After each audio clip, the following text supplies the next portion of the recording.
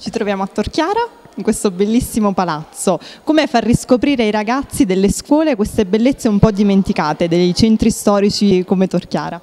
Bah, soprattutto sì, è vero, noi ci troviamo in questo palazzo baronale che è un palazzo ovviamente bellissimo e che rappresenta la nostra cultura, la nostra tradizione del paese, però è il, è il momento finale, il momento in cui si ci raccoglie per la riflessione, perché il percorso in verità è stato soprattutto sul colore, poiché la ricchezza di Torchiara e non solo, ma di tutto il paesaggio cilendano si basa sul colore. Ed è per questo che si chiuderà questo percorso parlando dell'albero capovolto, che è ovviamente un albero simbolico e che sta proprio a indicare il nostro modo di vedere, cioè se noi vediamo in un senso o vediamo in un altro. Questo mi, mi, fa tornare alla mente il tema di questa giornata del Festival della Cultura Creativa, abitare sottosopra. Nonostante tutto, anche se è molto difficile, siamo stati gli unici ad aderire proprio verbalmente al titolo, perché l'albero sottosopra sta proprio a indicare un nostro modo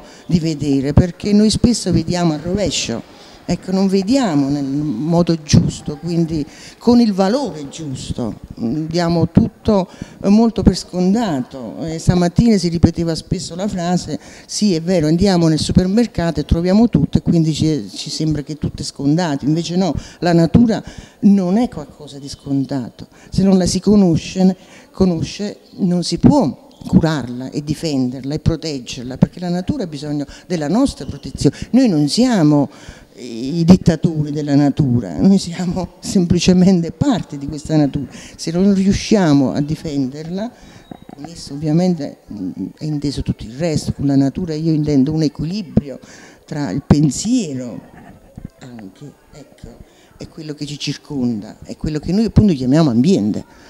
Non è scontato, come non è scontato il fatto che una banca si occupi di cose culturali, quindi promuova anche queste attività. Ma la banca secondo me oggi rappresentano le uniche strutture che possono difendere il territorio.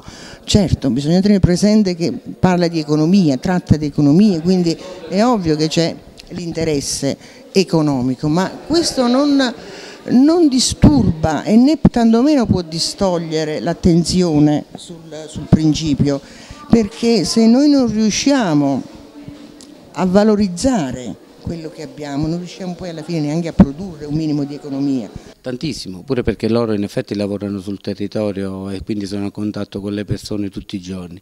Questa è una banca territoriale, quindi eh, prima veniva chiamata Cassa Rurale d'Artigiano proprio per, per, il, per, il, centro di, di, piccoli comuni, quindi essendo a contatto con le persone penso che sia una cosa fondamentale il rapporto diretto con i cittadini, quindi far conoscere pure quelle che sono le bellezze del territorio soprattutto di Torchiara. Eh, ci auguriamo che queste manifestazioni possano raddoppiare e avere la partecipazione sempre più imponente di, sia di ragazzi che anche di meno giovani. Sono qui in rappresentanza dell'amministrazione e volevano ringraziare tramite me sia l'associazione Cilento Domani sia la scuola per la presenza e per il giro che hanno fatto in tutto il borgo di Cupertino.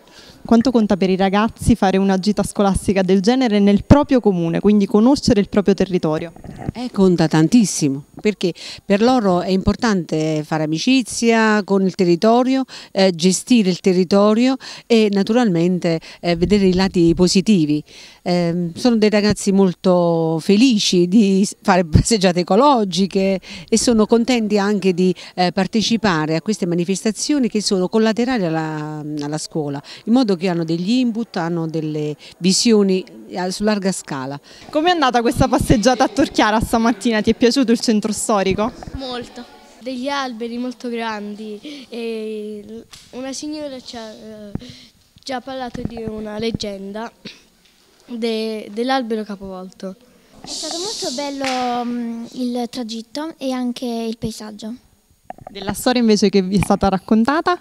Mi è piaciuta molto la parte in cui che narra che il figlio di Adamo uh, mette tre semi um, uh, per sotto la lingua di Adamo in modo che poi crescano degli alberi.